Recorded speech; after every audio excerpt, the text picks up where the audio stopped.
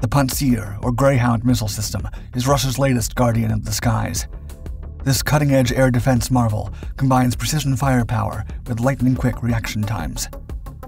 Its mission is to protect the skies from all aerial threats, from enemy jets to cunning, near undetectable drones. With dual threat capabilities that include surface to air missiles and rapid firing cannons, the Pantsir is a relentless sentinel, ever vigilant in the face of danger. Greyhounds can simultaneously engage two targets at once in a radius of around 30 kilometers, and tanks with a robust 8x8 truck chassis can be easily redeployed on the battlefield to support ground troops and essential facilities such as silos and communication sites. The skies of Russia have a new defender, and its name is Pantsir. The Pantsir S-1, translated to shell or armor, is one of Russia's later air defense systems. Also known as the SA-22 Greyhound by NATO forces, it's a combined short to medium range surface-to-air missile and anti-aircraft artillery system. Development of the Greyhound began in 1989 by the Russian defense company KPB Instrument Design Bureau as a replacement for the 2K-22 Tunguska air defense system. The aim was to develop an effective air defense system that could provide superior protection against missiles, airfields, and communication arrays. Nevertheless, when the USSR collapsed, the Pantsir was redefined as a short range defense system to support ground troops and more powerful air defense systems, such as the S 300, S 400, and S 500. The weapon system was formally introduced in 2003 to the Russian armed forces and incorporates long range and close range defense capabilities in the form of anti aircraft guns and missiles to intercept aircraft, precision guided munitions, and unmanned aerial vehicles. The system features a combination of 12 surface to air missiles and two 30mm anti aircraft cannons, but can differ according to the variant. The Greyhound also includes radar and targeting systems to track and engage multiple targets simultaneously. The Pantsir is mounted on a 10 ton Ural 53234 8x8 truck chassis with single tire wheels. The air cooled diesel Ural 74510 engine provides 290 horsepower. The SA 22 Greyhound's missiles have a bi-caliber body with a separate booster, sustainer, and separation mechanism. The missile weighs over 65 kilograms, 16 of which belong to the warhead. The surface to air missiles have a range between 1 to 12 kilometers, a speed of around 1300 meters per second, and a flight altitude of 15 kilometers. The 30mm guns have a range of 4 kilometers and carry 750 rounds of ammunition, including tracer, high explosive, and armor piercing rounds. The crew of three can adjust the maximum fire rate up to 700 rounds a minute as needed. The Pantsir S1 fire control system comprises a dual waveband tracking radar and a target acquisition radar. The detection range is around 30 kilometers. The Greyhound also features an electro-optic channel with a long-wave thermal imager and infrared direction finder for automatic target tracking of two simultaneous objectives. In addition to the basic variant, there's the Pantsir M, explicitly modified for naval use, and the Pantsir SM, tailored to make the system more effective against drones of all shapes and sizes.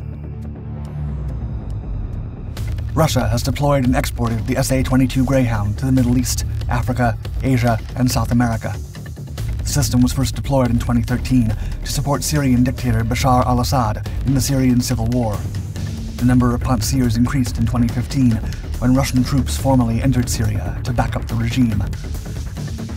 Pantsirs also found their way to Crimea in 2014 when the Wagner PMC and Russian backed separatists operating in Donbas proclaimed independence from Ukraine.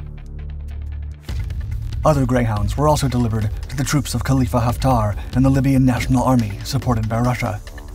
During these operations, the Greyhounds were particularly exposed to attacks from drones and airstrikes from Israeli forces, leading Russia to further upgrade the system against these new threats. Since then, the different variants of the Greyhound have been deployed with mixed success to the front lines, often getting destroyed by kamikaze drones, particularly those made by Israel and Turkey. In June 2019, the United Arab Emirates deployed several Pantsir S-1s in Libya to support the Libyan National Army. One of them was destroyed by an airstrike on the advance towards Libya. During the summer of 2020, the United States military conducted an incredible and secretive operation to get its hands on one of Russia's Pantsir S-1 surface-to-air missile systems. According to an article from The Times, the mission took place in Libya in June 2020. The SA-22 Greyhound in question had been one of the several systems purchased by the United Arab Emirates and given to the Libyan government. After being captured by the local militia, the Pantsir was recaptured by the government troops and transferred to a base with Turkish army personnel.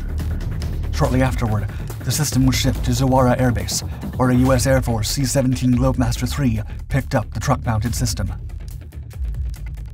It was then flown to Ramstein Air Base in Germany before making its way to the U.S. for immediate inspection by the intelligence community. The SA-22 Greyhounds that remained operational in Libya were countered by electronic warfare systems that jammed the system's radar and coordinated airstrikes. The next large-scale deployment of the SA-22 Greyhound came with the outbreak of the Russo-Ukrainian War in February 2022.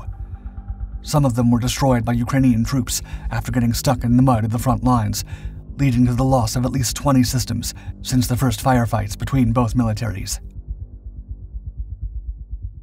According to Russia's state-owned defense corporation, Rostec, the Pantsirs deployed have been used effectively against Ukrainian missiles, drones, and aircraft. Nevertheless, such affirmations have been called into question based on the incursions of Ukrainian drones in Russian-occupied territory, especially Moscow. Russia has been forced to adopt the necessary air countermeasures against increasing drone attacks conducted by the Ukrainian army since early 2023. According to data from the BBC, more than 190 drone strikes have been conducted within Russian territory since January.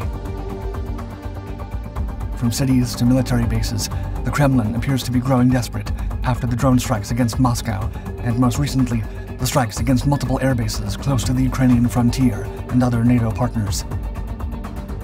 This led the Russian military to adopt a defensive system inspired by Hitler's Third Reich during World War II. The government-owned television channel Russia 24 has recently released footage of Pantsir systems deployed on the roofs of anti-aircraft towers, reminiscent of Wehrmacht Flakturms. Also known as flak towers, these were large above-ground level anti-aircraft gun towers built across the most important cities of the shrinking Third Reich to provide anti-aircraft fire against Allied bombing raids. The concrete walls of these imposing medieval-like anti-aircraft towers were up to 3.5 meters thick and could sustain the direct hits of even 203mm M1931 howitzers. The unique construction of these towers allowed a sustained fire rate of over 8,000 rounds a minute from the multi-level guns that comprise the Flakturm. The Luftwaffe also envisioned them as air raid shelters against the relentless bombing runs of the enemy. According to the details shown by Russia 24, the flak towers employing Pantsir systems are only being built and installed in the areas surrounding Moscow. It is not clear yet if the military will build more in other cities, or if they will reach a level of development comparable to that of Flakturms. This level of defense can be interpreted as a real concern of the Russian armed forces regarding Ukraine's capability to strike the capital with impunity.